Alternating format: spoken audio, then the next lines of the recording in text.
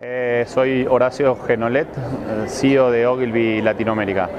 Pero yo creo que independientemente de las nuevas plataformas o las nuevas herramientas o los nuevos canales de comunicación que podamos tener a futuro con nuestras audiencias, definitivamente el diferenciar va a seguir siendo la creatividad. Y particularmente voy eh, a ponerle foco en, la plática a todo lo que es la parte de inteligencia artificial, que hoy está tan en boga de todo y que es para mí el verdadero acelerador de lo que ha pasado en este último tiempo con la Big Data y con la Smart Data, que para mí es la, data que realmente es relevante. Entonces, eh, un poco es esto eh, y bueno, el challenge de aprender sobre estas nuevas este, tecnologías, de aprender sobre esta nueva manera de trabajar, de aprender sobre esta nueva manera de conectarte con la gente, que no solamente es a través de números y códigos y de clusters, sino que de vuelta tiene que ver también con seguir conectando a las personas y a las marcas a través de, algo que es fundamental, que son las historias, las emociones, las cosas que son realmente, las conexiones que son perdurables y relevantes.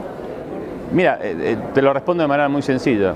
Eh, tú puedes comprar datos de distintas fuentes, son todos iguales. Puedes comprar tecnologías que seguramente te podrán dar eh, alternativas A o B o prospectaciones A o de tipo B. Es un commodity. Eh, la creatividad es algo exclusivo, es algo especial, que desarrolla algo que conecta a las personas de una manera intenta. Eso es lo que yo creo que, y por eso el marketing va a seguir siendo una herramienta fundamental para las estrategias de las marcas, donde un componente clave va a seguir siendo la parte de la creatividad. Bueno, yo tengo una, frase que es un poco eh, rupturista. Para mí la Big Data no sirve para nada. Lo que sirve realmente es la data relevante, la, data traccionable, la data que de alguna manera puede identificar algo que pueda ser relevante para mi marca o para mi producto, para mi servicio. Estoy hablando en el tema de marketing específicamente. Con lo cual siento una vez más que eh, comprar toneladas y toneladas de datos y de información no es algo que vaya a cambiar el mundo del marketing ni, nos va a ser más eficientes.